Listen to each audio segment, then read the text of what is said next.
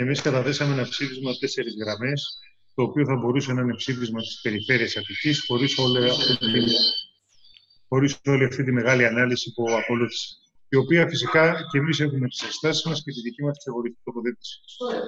Το ψήφισμα που καταθέσαμε, επειδή δεν ήρθε σε όλους, πήγε μόνο στους επικεφαλείς των παρατάξεων, είναι το εξής, ότι καταδικάζουμε την προκλητικότητα της κυβέρνησης Ερντογάν που εκφράζεται με τη μετατροπή του μνημείου χριστιανικής και παγκόσμιας πολιτιστικής κληρονομιάς της Αγίας Σοφιάς σε τζαμί. Αυτό ήταν ένα μικρό ψήφισμα που θα μπορούσε να καλύψει τους περισσότερους για να υπάρχει μια τοποθέτηση τη περιφέρεια Αττικής. Ωστόσο, όμως, επειδή το θέμα είναι σοβαρό και εδώ στην περιφέρεια Αττικής είμαστε, όπως λέγεται, το δεύτερο τη τάξη που λεγόμενο όργανο μετά το, τη Βουλή των Ελλήνων, δεν μπορούμε να, να το περάσουμε στον τούκο και να μην τοποθετηθούμε για τη γενικότερη κατάσταση που υπάρχει στην περιοχή και στην οποία εντάσσεται και μια τέτοια κλιμάκωση, μια τέτοια ενέργεια από την ε, κυβέρνηση Ερντογάν. Δηλαδή δεν μπορούμε να απομονώσουμε αυτές τις ε, ενέργειες της κυβέρνησης Ερντογάν από μια συνολικότερη κλιμάκωση που υπάρχει στην περιοχή και η οποία υποθάλπεται ανοιχτά και από γνωστούς συμμάχους της Τουρκίας όπως και της χώρας μας, που είναι η Ευρωπαϊκή Ένωση. Απλά να θυμίσω ότι σήμερα αποκαλύφθηκε ότι πραγματοποιήθηκε και άτυπη συνάντηση της ελληνικής κυβέρνησης υπό την κυδαιμονία της Γερμανίας μαζί με την Τουρκία. Άτυπη συνάντηση. Και μάλιστα σε όχι πολύ χαμηλό επίπεδο, σε ψηλό επίπεδο. Στην οποία αυτή, μετά την οποία αυτή η άτυπη συνάντηση, σε επίπεδο Ευρωπαϊκής Ένωσης, άνοιξαν ήδη, άνοιξε ήδη ο αστός όλου και αρχίζουν και μιλάνε για διαφιλονικούμενα χωρικά ύδατα στην περιοχή.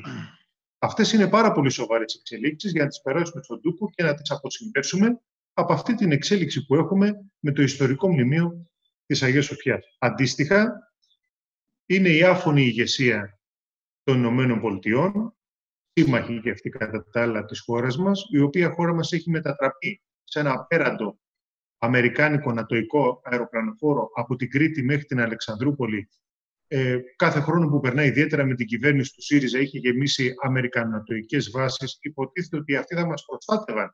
Οι αμερικανατοικέ βάσεις θα μας προστάτευαν από την τουρκική για άλλη επιθετικότητα στην περιοχή.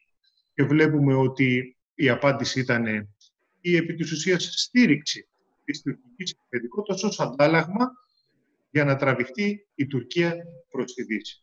Αντίστοιχη τέτοια αφωνία έχει και η καπιταλιστική Ρωσία, και αυτή φίλη της κυβέρνησης του Ερντογάν που κρατάει μια αντίστοιχη τέτοια στάση. Και επειδή οι καιροί είναι πονηροί, εμείς δεν μπορούμε να μην αναφερθούμε στο ότι πρέπει να σταματήσει αυτή η υποχρέωση κάθε εκλεγμένου, κάθε δημοκρατικού προοδευτικού ανθρώπου να σταματήσουν οι φασιστικές, οι εθνικιστικές κραυγές ένθεν και κήθεν, να απομονωθούν τέτοιου είδους φωνές και στην Ελλάδα και στην Τουρκία, μια πολύ λαμπρή στάση ένα παράδειγμα προς μίμηση για όλους τους λαούς είναι η στάση και το ψήφισμα και η τοποθέτηση του Κομμουνιστικού Κόμματος Τουρκίας που είναι το μόνο κόμμα που καθαρά από την τουρκική πλευρά καταδίκασε αυτή την απαράδεκτη ενέργεια της κυβέρνησης Ερντογάν.